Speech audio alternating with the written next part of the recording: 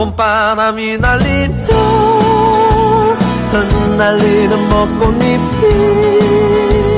울려 퍼질 이 거리를 둘이 걸어